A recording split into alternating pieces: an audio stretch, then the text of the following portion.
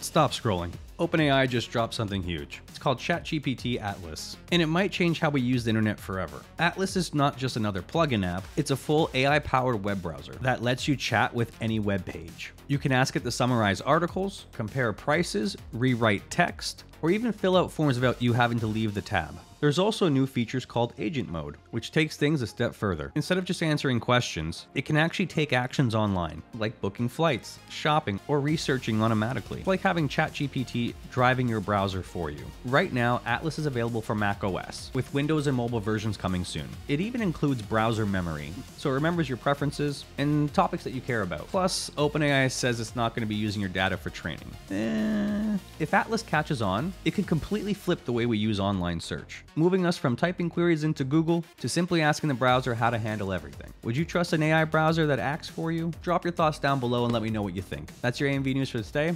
Have a great day.